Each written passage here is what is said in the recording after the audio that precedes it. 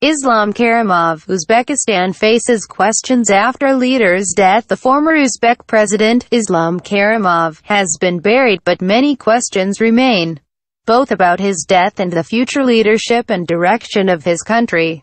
Official and unofficial death Although a public transition of power began after Mr. Karimov's death, questions are still being asked about the way Uzbek government handled his demise. The first reports of his death emerged immediately after the official announcement of his hospitalization on the 28th of August. The initial report by the cabinet gave no details of his illness. On the 29th of August, the president's youngest daughter, Lola Karimova-Tillayeva, said on Instagram that her father had had a brain hemorrhage over the weekend and was in intensive care. On the same day, Independent website Fergana News published its first report of Mr. Karimov's death. The Moscow-based news agency said his death occurred between 1500 and 1600 local time on the 29th of August.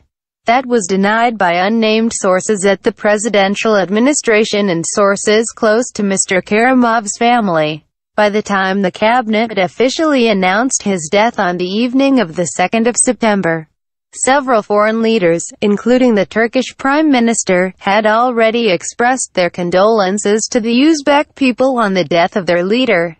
Patient Islam Karimov, a long and detailed medical report on patient Islam Karimov was read out on state television on the evening of the 2nd of September and published on the government portal, gov.uz. After the official announcement had been made, some analysts say it was done in an attempt to stop speculation, including suggestions of a possible coup within the president's inner circle.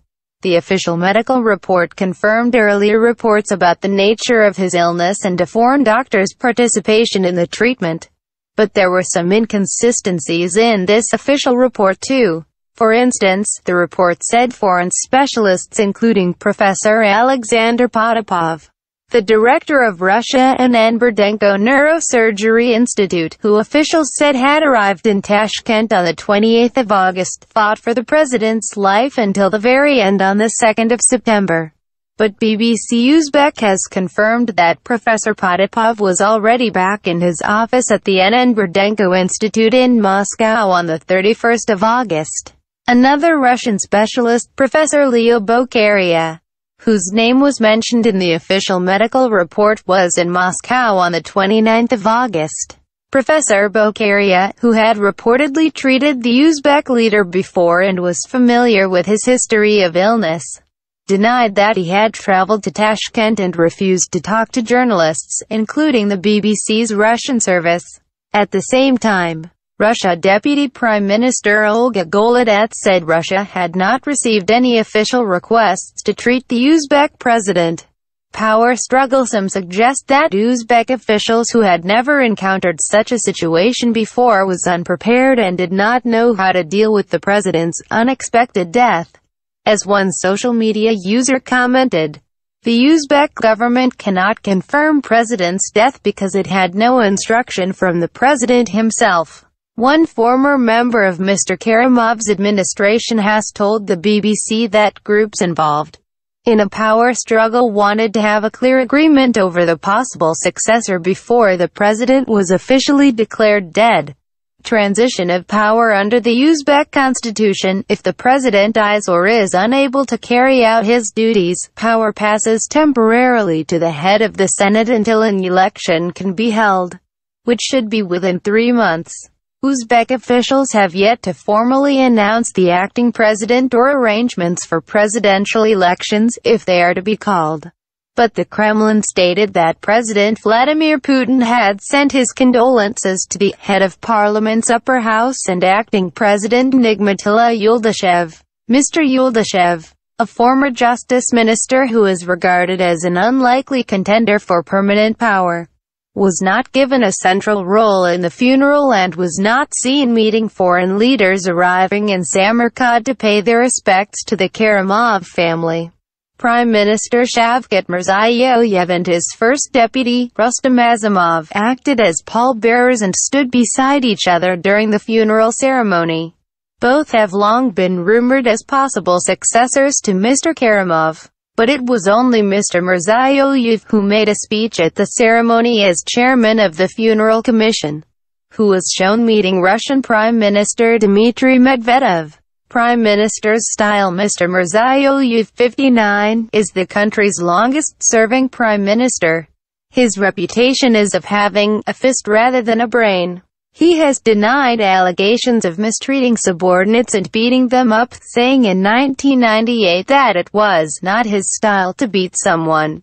He is reported to have close links with Russian oligarchs and is in charge of the country's key agricultural sector including the cotton industry, which has been criticized internationally for the use of child and forced labor. He worked closely with Mr. Putin when the Russian leader was his country's prime minister between 2007 and 2011.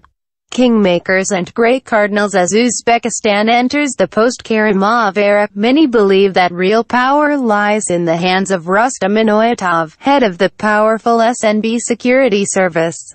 A leaked U.S. diplomatic cable from 2008 described him as a key gatekeeper to President Karimov, and his style is alternating between engaging and menacing. Mr. Inoyatov, 71, is regarded as the main instigator of moves to sideline Mr. Karimov's once powerful daughter, Gulnara. There are fears that questions of the succession may contribute to uncertainty in the short term. Another key figure is the long-standing head of the presidential administration, Zelimkhan Haydarov. He may play an influential role behind the scene. International relations The Uzbek government has not made any significant statements on future foreign policy. Mr. Karimov tried to sit between the regional interests of the big powers and resisted Moscow's attempts to integrate Uzbekistan into its economic and security blocs. Most of his colleagues from the former Soviet Union, including Mr. Putin and Kazakh President Nursultan Nazarbayev, failed to attend the funeral. The U.S. and China sent low-level delegations.